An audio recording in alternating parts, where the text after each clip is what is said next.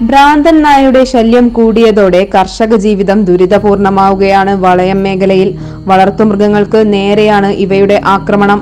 കഴിഞ്ഞ ദിവസം ഭ്രാന്തൻ നായയുടെ കടിയേറ്റ ഒരു പശുവിന് കൂടി പേയിളകിയിരുന്നു. പേയിളകിയ പശു കയർപൊട്ടിച്ച് ഭീതി പരത്തിയതോടെ ഇന്നലെ രാത്രി പശുവിനെ വെടിവെച്ചു കൊന്നു. വെള്ളിയോട്ടുപോയിൽ അരിയാങ്കണ്ടി സുകേഷിന്റെ വീട്ടിൽ വളർത്തുന്ന പശുവിനാണ് പേയിളകിയത്. ഇന്നലെ വൈകിട്ട് വെറ്റിനറി ഡോക്ടർ പരിശോധിച്ച് പേവിഷബാധ സ്ഥിരീകരിച്ചിരുന്നു. രാത്രി പശു കയർ പൊട്ടിച്ച് ഓടിയത് ഭീതി പരത്തി. തുടർന്നാണ് പശുവിനെ വെടിവെച്ചു കൊന്നത്. ആഴ്ചകളുടെ ഇടവേളയിൽ വളയത്ത് നാല് പശുക്കളും പത്തോളം ആടുകളും ചത്തു. വളർത്തുമൃഗങ്ങൾ ചത്തൊടുങ്ങുന്നത് പതിവായതോടെ കർഷകർക്ക് കണ്ണീരിന്റെ നാളുകളായിരിക്കുകയാണ്. വളയം മേഖലയിൽ ഭ്രാന്തൻ കുറുക്കന്റെയും ആക്രമണം ഉണ്ടാകുന്നുണ്ടെന്നാണ് നാട്ടുകാർ പറയുന്നത്. ഭ്രാന്തൻ കുറുക്കന്റെ കടിയേറ്റ നിരുവുമ്മലിലെ കുഞ്ഞിത്തൈയുള്ള പറമ്പത്ത് ചന്ദ്രന്റെയും നിരുവുമ്മൽ ചന്ദ്രന്റെ കറുവ പശു അടക്കം ഒട്ടേറെ വളർത്തുമൃഗങ്ങൾക്ക് കുറുക്കന്റെ കടിയേറ്റ് പേയിളകി ചത്തിരുന്നു.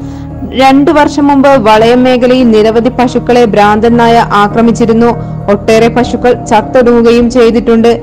ഉപജീവന മാർഗമായി പശുക്കളെയും ആടുകളെയും വളർത്തുന്ന കർഷകരുടെ ജീവിതം വലിയ പ്രതിസന്ധിയിലാണ്. മൃഗസംരക്ഷണ വകുപ്പോ സർക്കാരോ കർഷകരുടെ കണ്ണീരിന് വില കൽപ്പിക്കണം.